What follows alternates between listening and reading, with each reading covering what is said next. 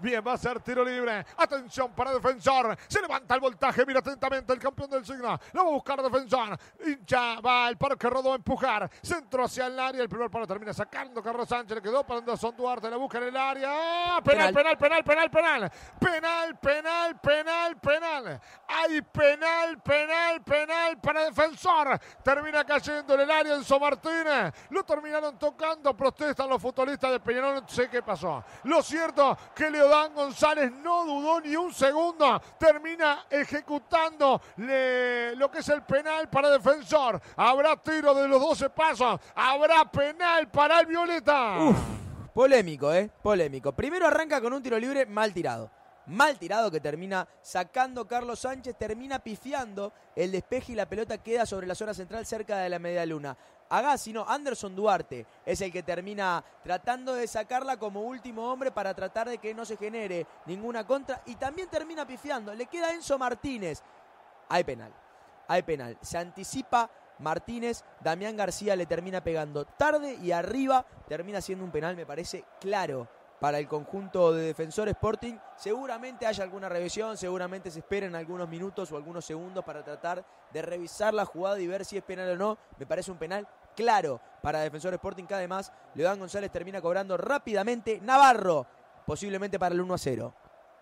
Hay fútbol y está lindo para tomarse una fría. Vinite de miércoles a sábados a partir de las 20 horas a Cervecería Santa Birra en Las Piedras. Y si te embola moverte, búscanos en pedido ya. ¡Qué rico todo, Santa Birra! Bien, se va a adelantar de los pasos el eh, Chino Navarro. Bueno, toda la gente prendida desde la barra del Sucu. Están todos a full escuchando, disfrutando. Y van de pesca aparte, ¿eh? Oh. Irá de pesca. El que va de pesca es el chino Álvaro Navarro. Arco de la Wilfi. ¡Va Navarro!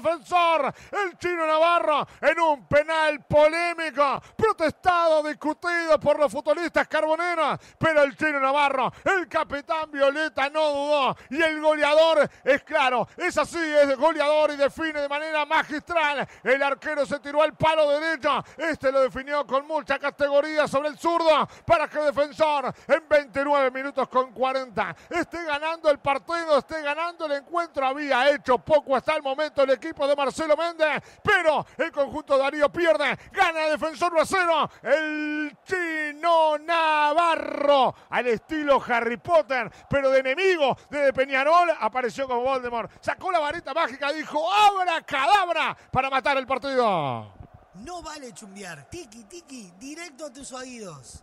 La experiencia que nunca falta del número 20, las ganas de estar, las ganas de seguir jugando, y la experiencia que también se termina mostrando en goles. Es el sexto de Navarro, este caso de penal, que termina convirtiendo, lanzándola al medio, un poquito tirado hacia la izquierda. Damores no le termina embocando y se tira hacia el lado contrario. Defensor no tenía la pelota, defensor no tenía tanto las oportunidades, algún espacio encontraba y en un tiro libre que termina luego de varias pifias generándose en penal, termina Navarro convirtiendo el 1 a 0.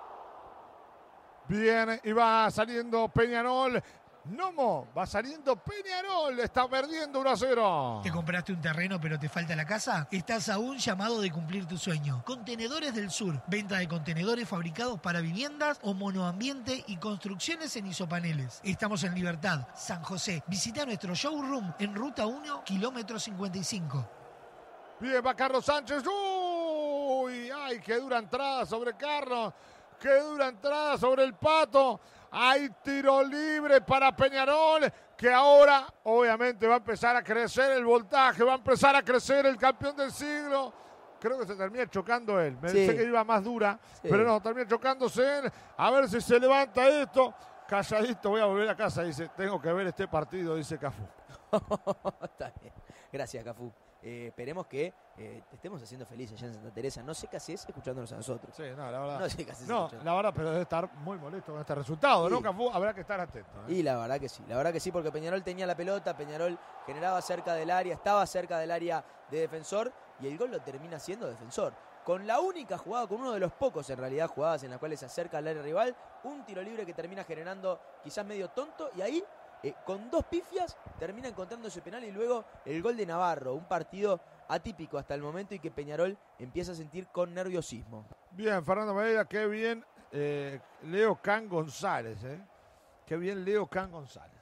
No, pero le van a, van a protestarle este penal. Es un penalazo. Va, va con la pelota hacia arriba Martínez. Termina anticipándose y le pegan una patada abajo. ¿Qué quiere cobrar? Era penal para No, errando y le termina dando la última defensora. A ver, Que no. le queda, no, la recuperó y mirá qué buena. La tiene Cepillo, mirá qué buena para Peñarol. Si le abre por derecha es buena. La tiene Sebastián, se le abre buena. La tiene acá para el Vasco. Si la cuida bien el Vasco y si levanta centro, mirá qué atención. Abre que es el Vasco. Maca por un lado, maca por el otro, va a levantar el centro. Toca se tapa el Cepillo, mirá qué buena. Le pega y está, ahí está, ahí está. ¡Gol!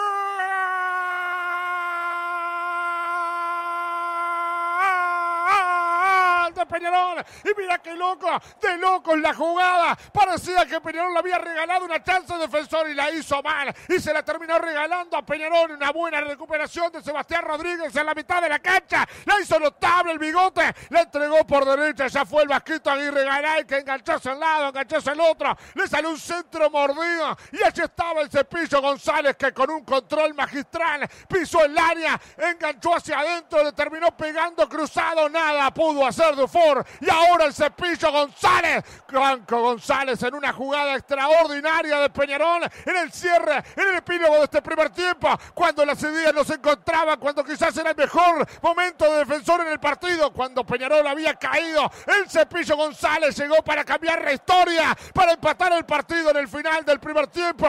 Franco González y un remate bárbaro para que se revienten los gritos de gol de campeón del siglo. No vale chumbear. Tiki, tiki, directo a tus oídos. Decíamos que se terminaba el primer tiempo y parecía que se iba Defensor ganando. Hubo un cambio de punta que casi le regala una contra bárbara a Defensor. La termina perdiendo Joaquín Valiente en el medio de la cancha. Recupera con ganas. Peñarol agarra la pelota a Sebastián Rodríguez, la traslada hacia la derecha, se la da a Aguirre Garay. Aguirre Garay, que viene siendo, me parece, uno de los mejores del campo de juego. Lo encaró siempre a Nicolás Rodríguez y siempre encontró el lugar. Pase al medio, gana Franco González que se saca la marca de Freitas que no llega a marcarlo bien y termina cruzando un derechazo de derecha a izquierda para poner el 1 a 1. Se va al entretiempo Peñarol con el empate. Gol psicológico este del Carbonero. Tremendo cuando Defensor se iba con el ánimo bien arriba. No encontró cómo cuidar esa última pelota y el Cepillo González le da un gol que no solamente es importante por el resultado, sino también por el trámite, porque se va con el ego bien alto al vestuario a descansar y pensar en lo que pueden ser los 45 minutos. Tremendo gol, pero tremendo gol importante también para el Cepillo González, que obviamente llegó como una gran figura, no había encontrado quizás lo mejor de su rendimiento, pero termina encontrando un gol importantísimo en el final. Estaga 1 a 1. Pero estamos ganando porque estamos disfrutando de un hermoso partido, Juanjo. Qué lindo partido entre Peñarol y Defensor, ¿eh? con un defensor quizás un poco más mezquino, un poco más defensivo, sin tener tantas chances, pero que había empezado ganando con el gol de Navarro de penal tras una pifia en un tiro libre, en un despeje de Carlos Sánchez y después un pifie a la hora de pegarle a Duarte, termina encontrando todo y después cuando parecía que se iba ganando Defensor sin merecer tanto y ya casi totalmente dentro de su propia área, termina encontrando el gol. Franco González tras una buena recuperación en el medio de la cancha, un buen pase de Regaray de derecha al centro para el cepillo y una buena eh, patada del cepillo, un buen pelotazo del cepillo para poner el 1 a 1. Empate me parece justo, ¿por qué? Porque Defensor fue efectivo y porque Peñarol fue el que quiso en este encuentro. Enseguida me llega un mensaje de querido Nacho Oviedo que me dice asistencia del Vasco. Datos, Datos. factos. La verdad, en esta se la tengo que dejar. Y sí. Verdad- y aparte le voy a decir algo. Por más que lo hemos cuestionado y demás, cuando uno tiene que asumir, tiene que asumir que, bueno, este mal. Se va a adelantar Sebastián Rodríguez, deme respiro, licenciado, se viene el penal. Se viene el penal y si te grabaron un lavama de dedo con la tierra que dejaste en el parabrisas, Benita de Cars, lavadero, lubricento, comería y venta de unidades lo va a patear a la derecha. Se levanta el campeón del siglo. Miradas atentas de todos los hinchas carboneros defensor que no quieren ni mirar porque se quiere defender con un excedente ciargo. Allá va, buscarlo Peñarol. Repiquetea Sebastián.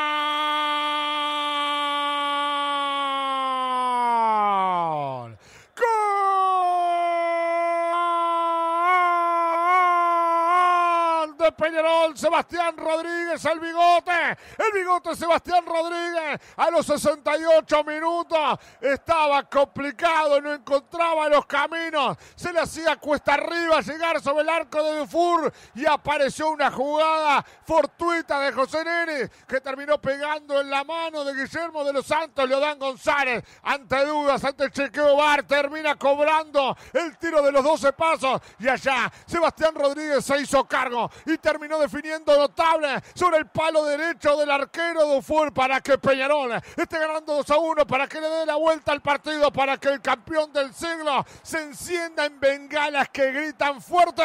Peñarol, Peñarol, gana 2 a 1, Sebastián Rodríguez y un bombazo a la. No vale chumbear. Tiki, tiki, directo a tus oídos.